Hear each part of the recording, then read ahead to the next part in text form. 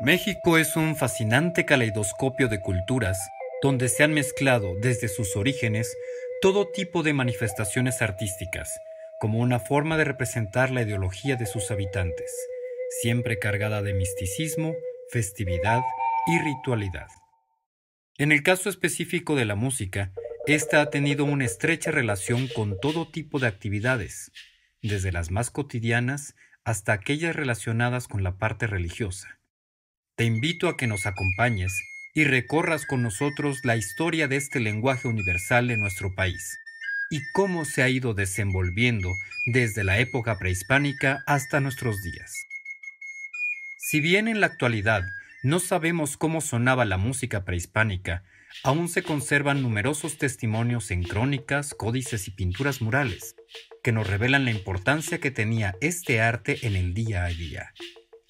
Incluso se conservan instrumentos musicales de aquellas épocas remotas, con los que podemos explorar sus mágicas sonoridades, como si fueran el eco de las voces de aquellos dioses a los cuales representaban.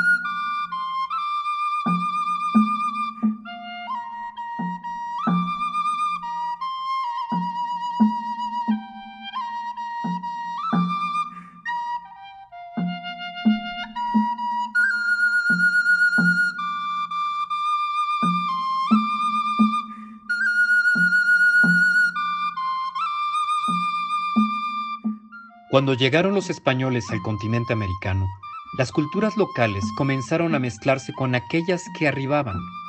De esta manera y poco a poco se fueron fusionando sus tradiciones, sus rituales e ideologías, generando un sincretismo que encontró cauce a través de la música.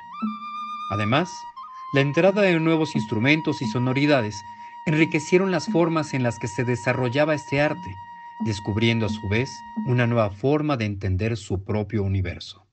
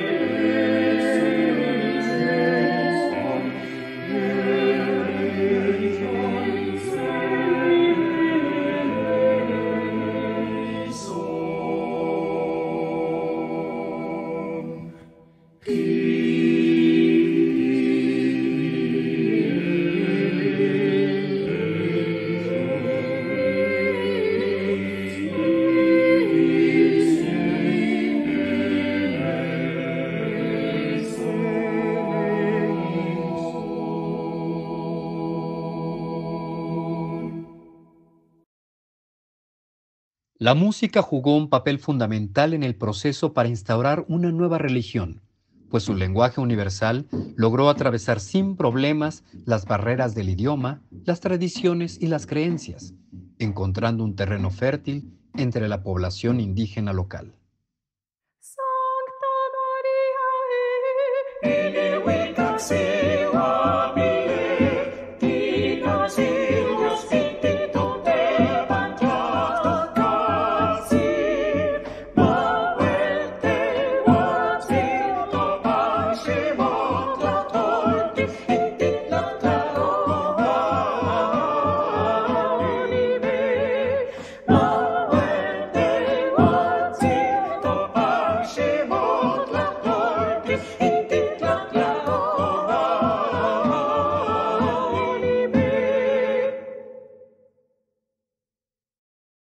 La época virreinal, la música religiosa y la secular convivieron mientras se mezclaban en una amplia gama de expresiones. Las fiestas, que se sucedían una tras otra a lo largo del año, combinaban tradiciones indígenas con aquellas llegadas a partir de la conquista. Esto permitió que toda la población conociera y disfrutara de varios estilos provenientes de Europa, África y América, lo cual acentuó el mestizaje étnico y cultural, dando origen al desarrollo de nuestra propia mexicanidad.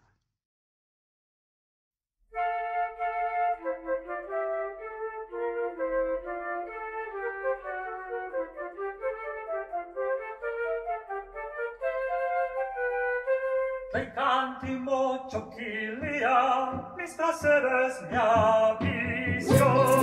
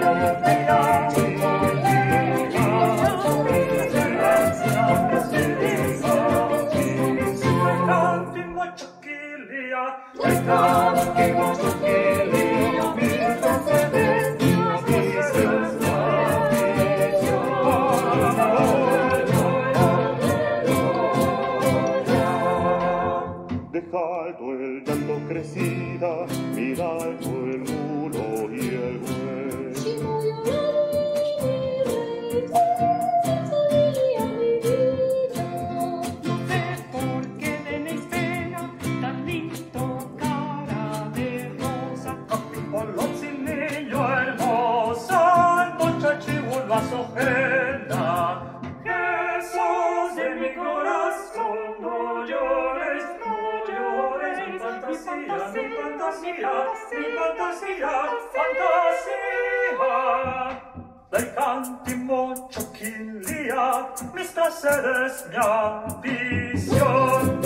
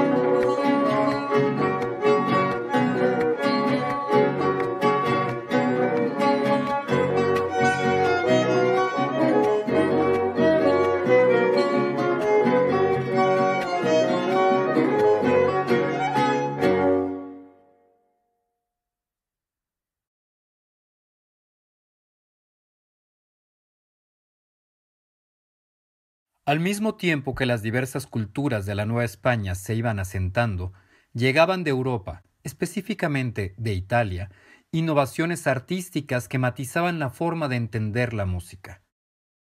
Estas corrientes encontraron cauce en el compositor novohispano Manuel de Sumaya, quien logró integrar las nuevas formas de armonía y las dulzuras melódicas de la corte con la solidez y decoro de la primera música contrapuntística.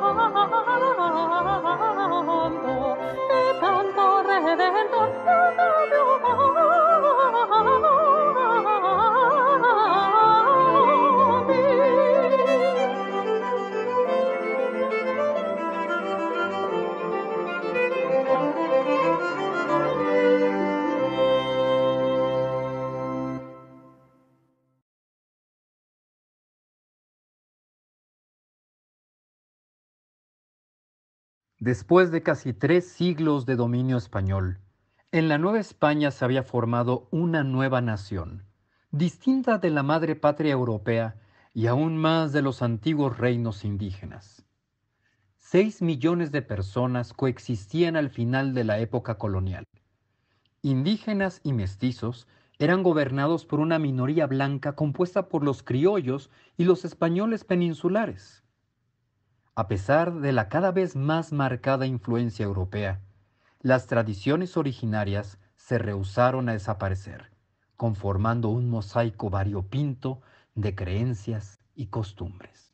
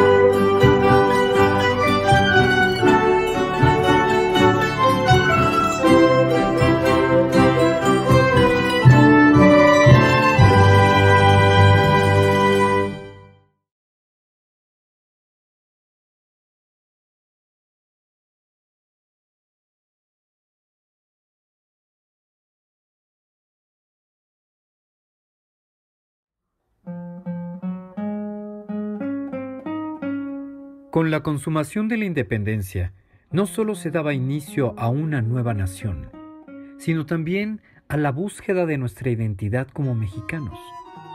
En el terreno musical, una gran variedad de influencias fueron convergiendo en géneros y estilos específicos, como fue el caso del jarabe, el cual tiene una gran importancia para la historia de la música, la danza y las costumbres populares en nuestro país.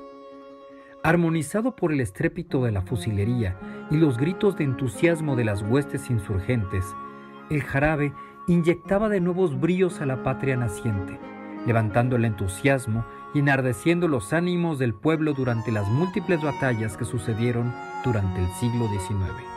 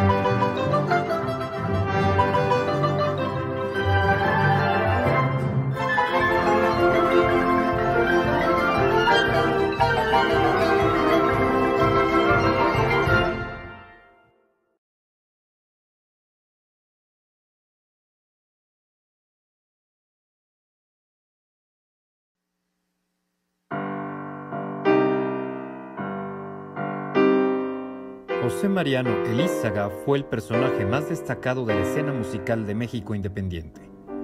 Creador de las primeras orquestas filarmónicas de nuestro país, la Escuela de Enseñanza Profesional de Música y la Imprenta de Música, también destacó por la alta calidad de sus composiciones, como se puede constatar en sus últimas variaciones para piano, única partitura de que se tenga noticia de su labor como impresor.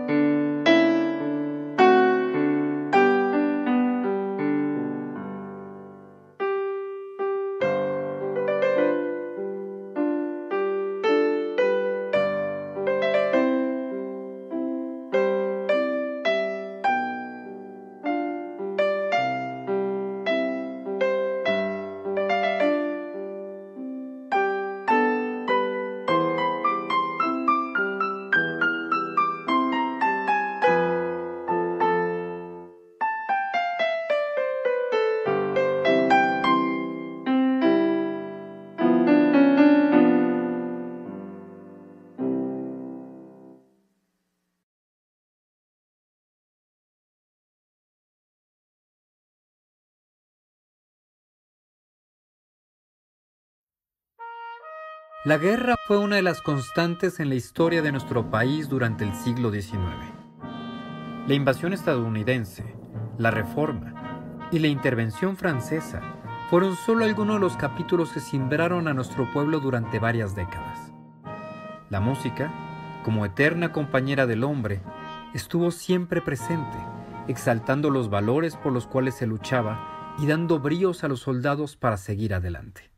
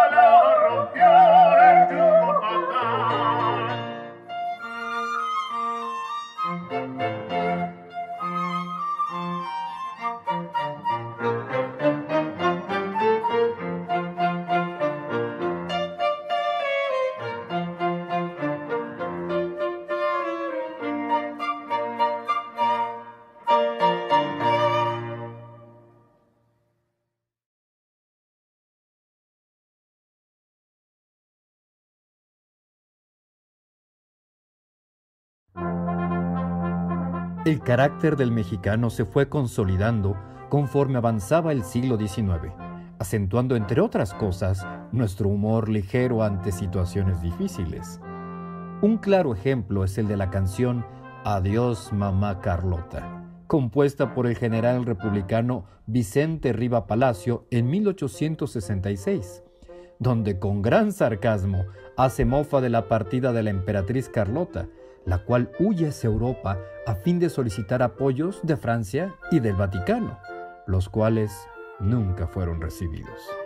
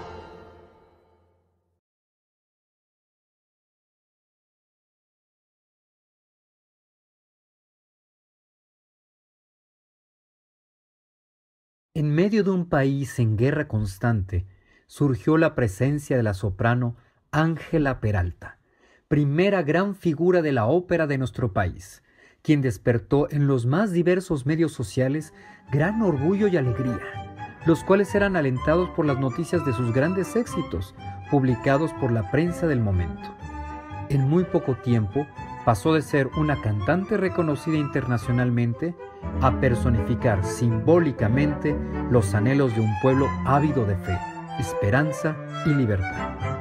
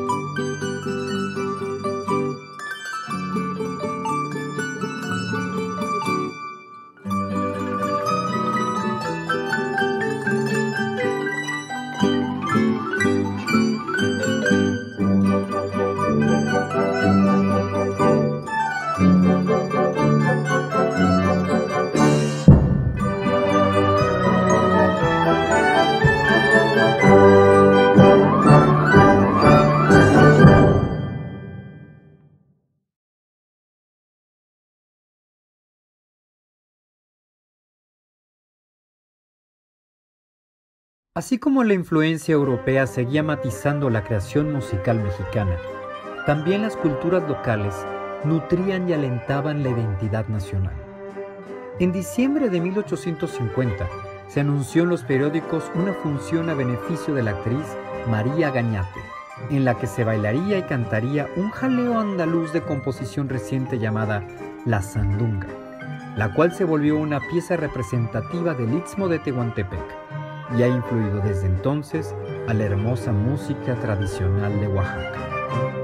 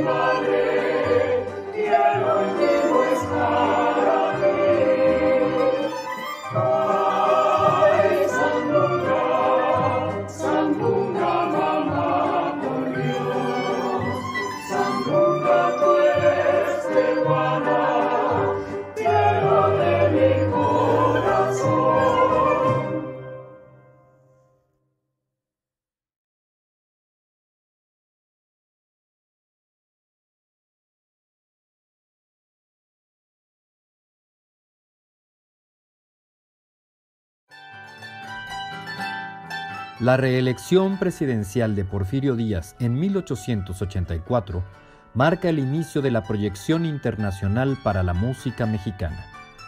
Ese mismo año es cuando se funda la primera orquesta típica mexicana, con el respaldo de los maestros clásicos del conservatorio, bajo la dirección del músico y compositor italiano Carlos Curti. Esta orquesta inició sus actividades en México y poco después se presentó en la Exposición Universal de Nueva Orleans.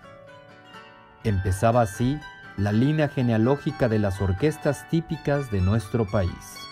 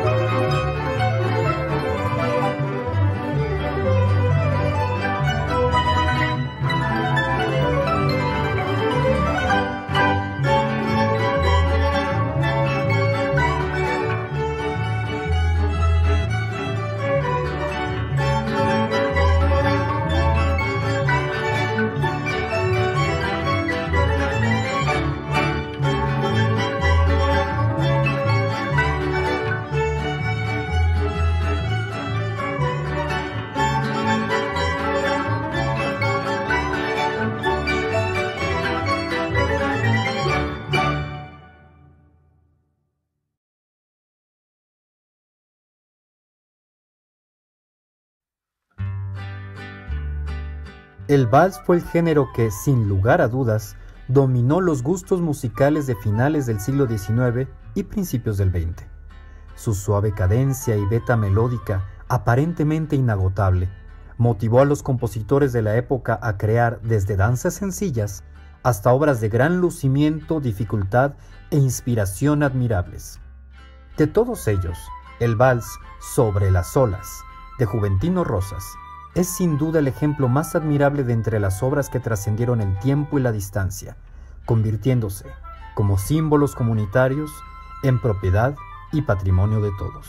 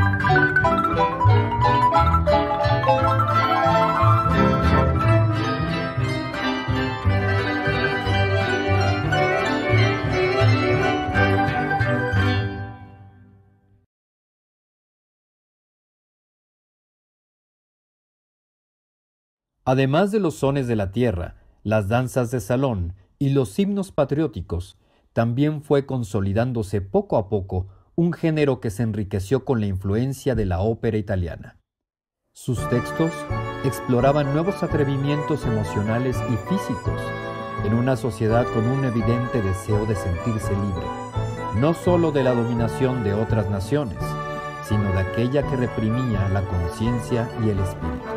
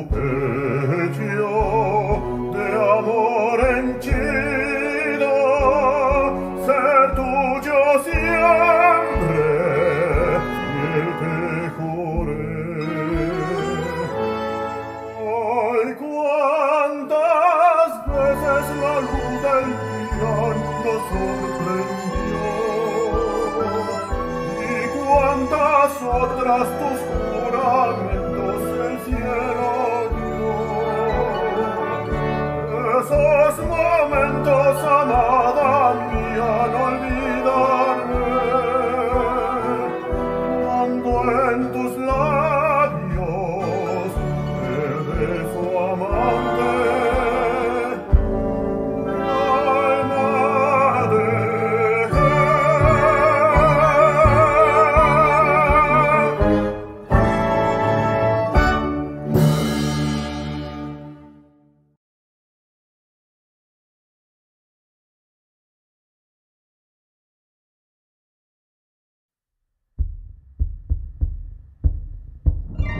A la orilla de un camino corté una blanca azucena.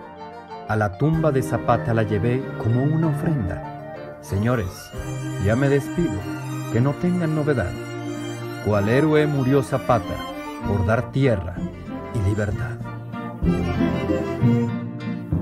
Escuchen señores, oigan el corrido de un triste acontecimiento a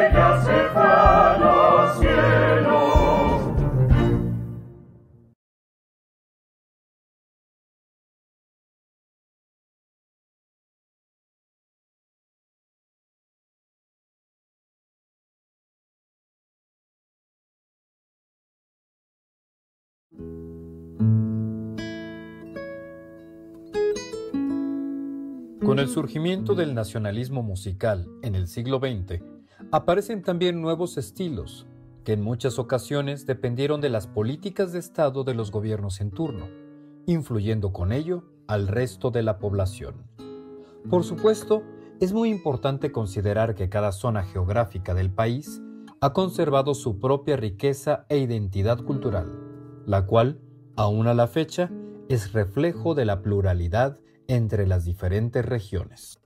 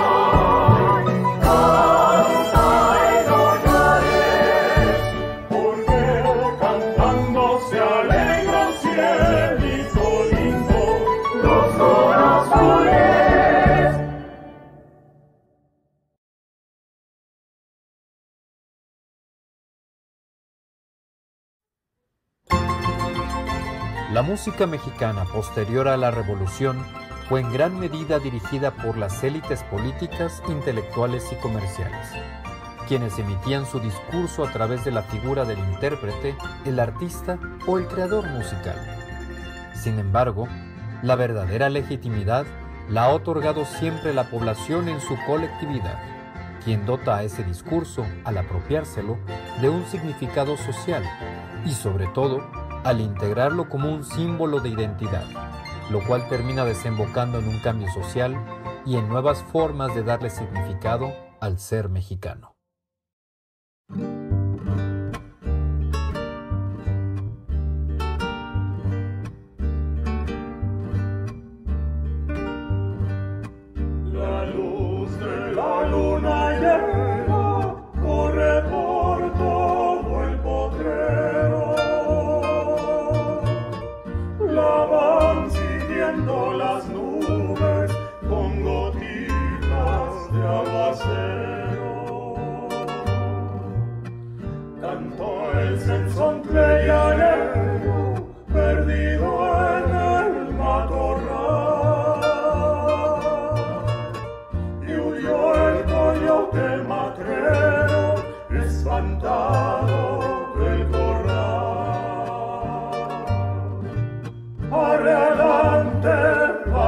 dipinta note a parte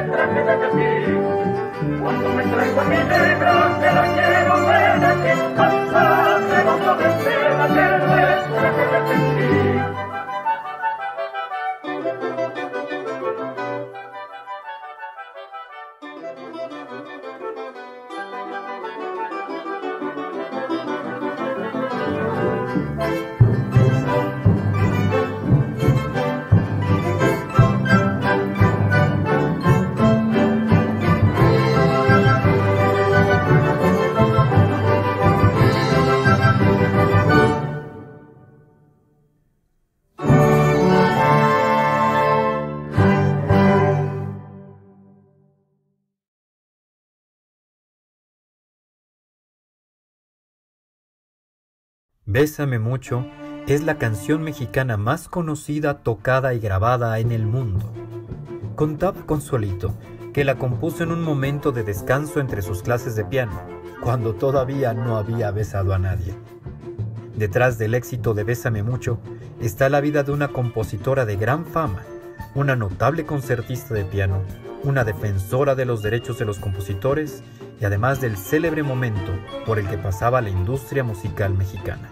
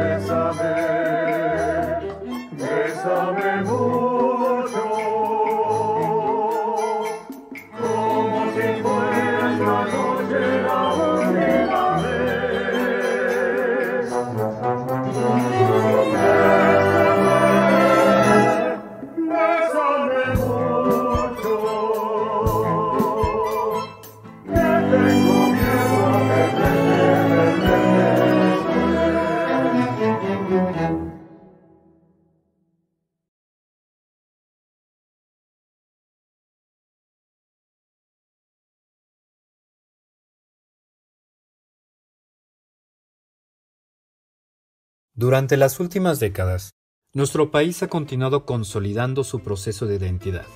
Y no es de extrañarse, pues estos procesos son un continuo diálogo con el tiempo y el devenir de la historia. Influencias provenientes de todo el orbe dotan de nuevos aires a las recientes generaciones, borrando muchas veces las fronteras entre lo académico y lo popular para este arte sonoro.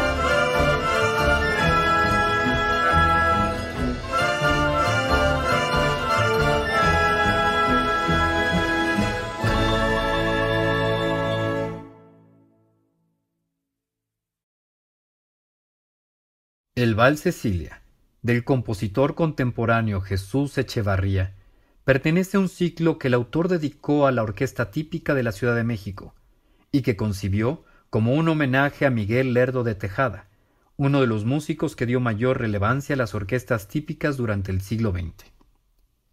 Esta obra, tanto en su dedicatoria como en su contenido musical, es una clara muestra de que a la esencia de la música mexicana que consideramos como parte de nuestra memoria, no le faltan motivos para resurgir revestida con nuevos aires y sangre renovada de admirable inspiración.